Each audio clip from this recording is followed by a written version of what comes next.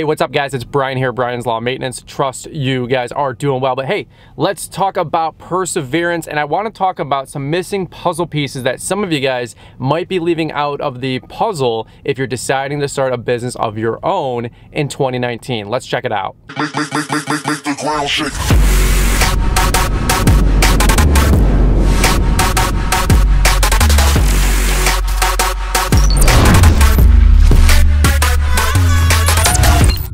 All right, guys, what's up? My name is Brian. I am all about helping you guys grow a more successful lawn care landscaping business. I actually just got done uh, working out at the gym and I'm exhausted. I got my butt kicked.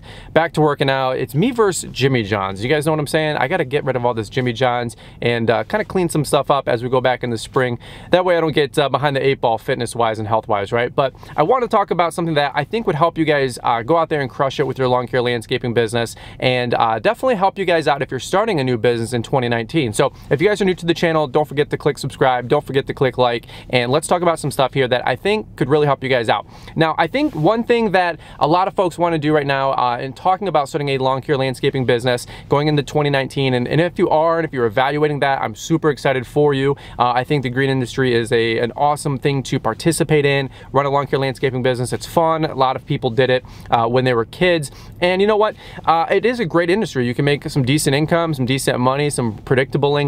Uh, I think it's pretty neat to be your own boss and there's a lot of perks and a lot of upside. But one thing I don't think a lot of people really think through is the fact that you have to realize that if you're watching YouTube videos or my channel specifically, it's very upbeat, it's very positive, it's very fun, it's kind of, uh, I don't want to say flashy, you know what I mean? But I, you guys got to uh, differentiate the two and discern the two things. Number one, I run a actual lawn care landscaping business and it's tough, man. It's lawn care it's landscaping, it's heat, it's sweat, it's long days, uh, long nights, and not a lot of sleep sometimes in the summer, right? But number two is I run a YouTube channel as well portraying my lawn care landscaping business.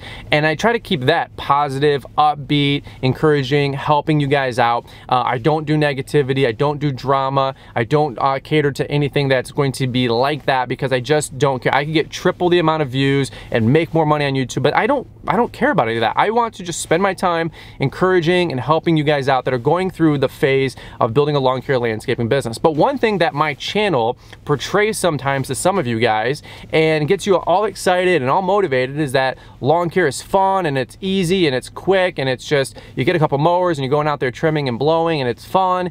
And it is, and it's true. Now, it is now easier and more fun 10 years later. But the reality is that the first few years of my business absolutely sucked. And I'm gonna start with that. My first few years of business were trying and failing and adjusting. It was cutting my teeth, scraping my knees, uh, not a lot of sleep, a lot of failing, a lot of expensive mistakes.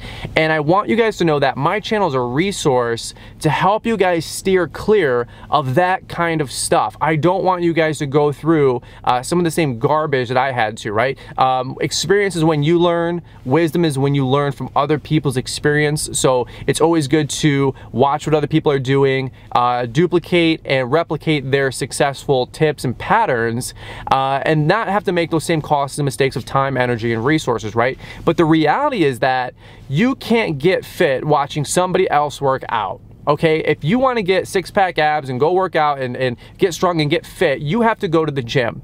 And it's the same thing with YouTube. Okay, you can watch all the review videos in the world, all my comparison videos in the world. You can watch everything in the world, but the reality is that you have to execute and start running a lawn care landscaping business. And this is my point. My point is that a lot of you guys may come up to the wall. You may come up to failure. You may come up to disappointment. And I wanna let you guys know where the skill set and the attribute of perseverance mean more than probably anything that I can teach you guys other than having a positive attitude. You know, I was actually hanging out with Keith Kalfas a couple days ago, and Keith Kalfas, uh, I said, Keith, what does confidence mean to you?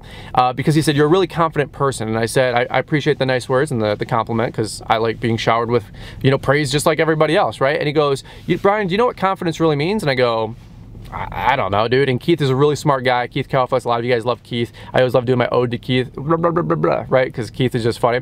And Keith said, you know what, confidence to me is the ability to have uh, belief in yourself to figure out problems. And I was like, all right, wordsmith, tell me more. And he said, it's the ability to know and to believe in yourself that no matter what comes against you, you can figure it out. And I've heard people say there's nothing that sustained thought can't overcome. You've also heard things like the same level of thinking that created a problem can't be uh, used to fix a problem. You have to go up. And I said, yeah, I'm a pretty confident person, Keith, because anything that comes against me, whether it's business or life or marriage or this or that, I'm willing to change, I'm willing to grow, I'm willing to sacrifice, but I'm also willing to per uh, persevere. I'm also willing to endure. And I think that's a missing attribute in a lot of people today. And I'm just gonna shoot people straight. If you're watching this video and you're 30 and under, you generally speaking did not learn how to persevere. Generally speaking, you did not learn how to make it through tough times. Generally speaking, you're a quitter. I was a quitter. And I'm not here to throw shade at anybody. I'm just saying, generally speaking, I was taught when the going gets tough, the tough do not get going, they quit. They roll over and they whine on themselves. And I didn't learn that from my, my mom or dad. I learned that from society. I learned that almost everybody's a starter, but so peop few people are a finisher. And I just realized that most people don't know how to persevere. So when your mower gets stuck in the mud the first time, it's not that you suck or that you're a failure. It's that you have to learn how to get confidence, to learn how to overcome that obstacle. Now, you watch a video that I do teaching you how to get unstuck from the mud, hashtag release the hydros, right? Uh, you'll learn how to overcome those those kind of issues a lot quicker, a lot more simple. You'll have more confidence because you've already seen somebody been there, done that.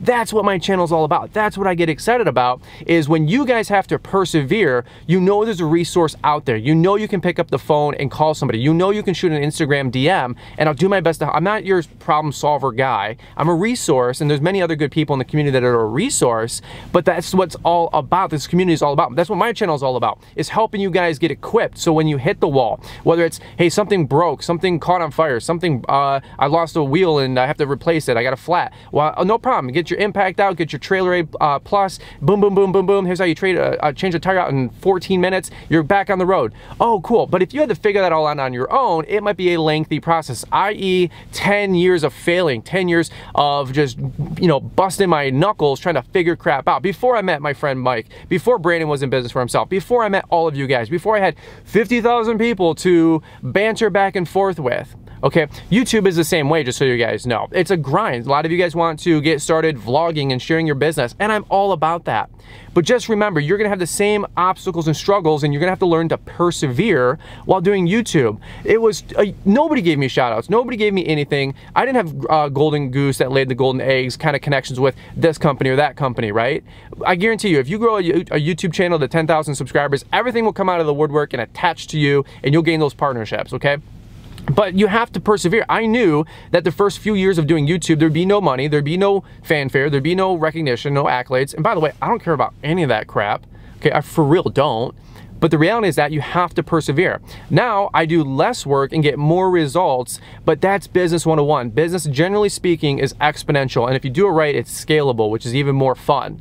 Okay, but just like lawn care landscaping, uh, with my actual business, we're 12 years in, and I like people that comment, well, he's only been in a business for a year or two, or he doesn't have a real business. I'm like, okay, let's just pretend those people don't exist because it's always better to look stupid than to open up your mouth and remove all doubt, right? But let's just say it took 10 to 12 years for me to now put in one effort uh, uh, module to get 10 results out of it. One effort index in for 10 results out. But before, it was 10 works in for one crappy result. But that's business, that's life. And that's what most people don't stick around to find out, right? When you work out the first few weeks, if not months, it's ugly. But then you put in less work almost, or uh, typically average work, and you get more results. That's business. So business is exponential, generally speaking.